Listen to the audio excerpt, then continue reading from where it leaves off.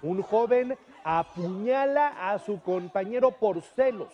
Esto sucedió en una preparatoria. En el video se observa a un maestro que intentaba controlar al agresor, mientras el joven herido se encuentra de pie con la ropa ensangrentada. La víctima presentó siete heridas. Afortunadamente se encuentra fuera de peligro. Esta imagen igual de dolorosa e indignante que la anterior. Las autoridades de la escuela se encuentran trabajando con la Fiscalía del Estado para determinar responsabilidades.